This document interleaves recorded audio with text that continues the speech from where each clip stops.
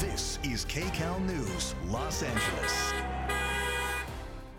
And now here at 9, Hollywood studios push back, going public for the first time since writers went on strike, revealing just how far apart both sides really are.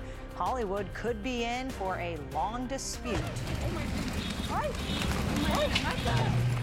Yeah, more. More of this wild weather. Not one, but now two tornadoes touching down in the Southland and snow stranding some drivers in our local mountains. The NFL under investigation. Workers reporting stories of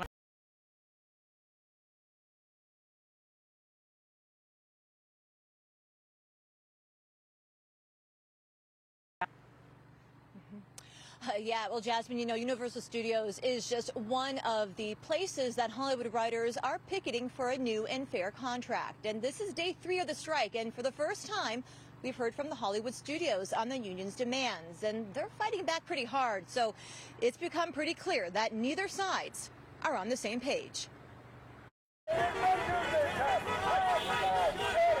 They are able to, you know, give shows based on the things that come out of our brains. And all we're saying is compensate us for that in, in a reasonable way. We're not looking to break the bank. From the picket lines outside every major Hollywood studio with some familiar faces to our first look inside a spirited solidarity rally Wednesday night. The local head of the Teamsters vowed support and had a defiant message for the studios. And we all see what's happening right now in Hollywood. They're starving all of us out. We have to We have to keep fighting together. And what I like to say to the studios is if you want to f- around, you're going to find out. On Thursday, it became very clear both sides are digging in for a long fight.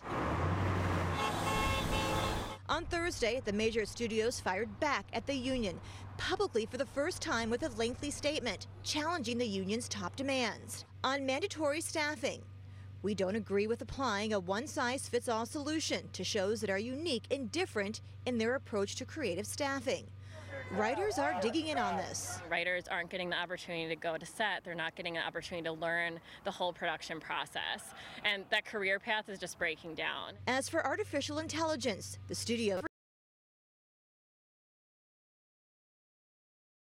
everyone. I would say that the same AI process could be used to replace almost any job on the planet. And on streaming, the studios say the WGA negotiated a 46% increase in residuals for streaming programs to take effect starting in 2022.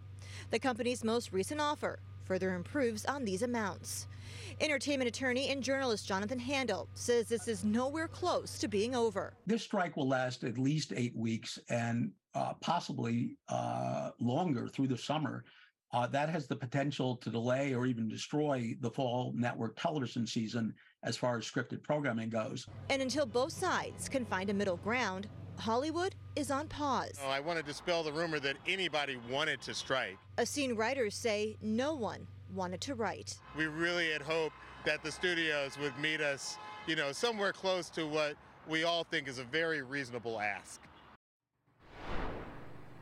And we reached out tonight to WGA for its response to the studio's rebuttal, but we have not heard back yet. I have, however, heard that more pep rallies are scheduled for the coming days here.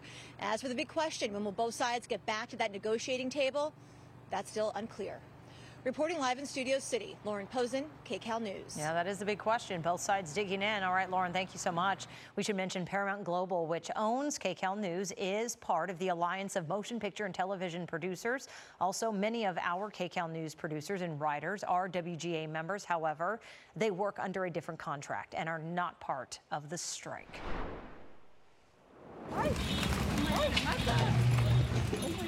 New tonight, the National Weather Service has just confirmed two tornadoes hit Southern California today, one in Carson and one in Compton. Trees uprooted, car windows smashed, and the front of a building.